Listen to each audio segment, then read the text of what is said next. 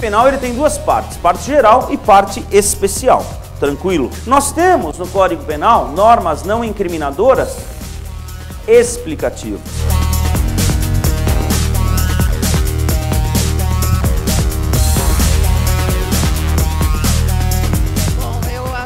importante esse tipo de trabalho que a Central vem fazendo, porque é uma forma de motivar os alunos, incentivar os estudos e nos deixar mais preparado para o que o concurso exige.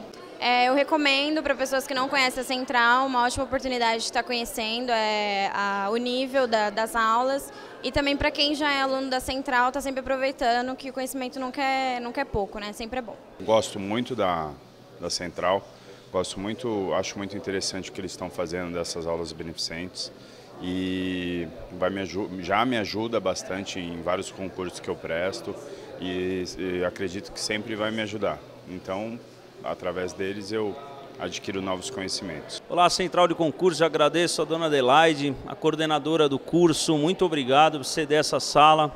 É, gostaria de dizer que não é só essa aula beneficente, porque isso aqui é conversar, é uma conversa com os alunos, é um momento de descontração, mas a gente coloca na mente dos alunos a importância disso, que é não perder o contato com a matéria.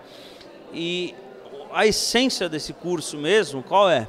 Ajudar o próximo. Eu acho que tem muitas pessoas precisando, principalmente nós vamos destinar essa quantidade de alimentos ao Hospital Cruz Verde, pessoas deficientes, abandonadas, que necessitam muito do que? De dinheiro? Não, de comida.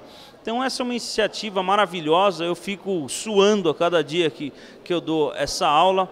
Muito obrigado à Central de Concursos, a Adelaide, que proporciona, que não tem obrigação nenhuma de fazer isso, mas com de coração aberto cede para a gente, e, ou seja, todo mundo está feliz, eu, o curso, as pessoas estão felizes, tem muitos alunos que vêm de outras unidades, ou até mesmo de fora, Santos, Sorocaba, Campinas, vêm nos acompanhar, porque, porque eles sabem que eles estão ajudando ajudando. Isso é muito importante, não perdendo contato com a matéria, sempre rumando a aprovação. Legal? Muito obrigado, Central de Concursos. Valeu, tchau.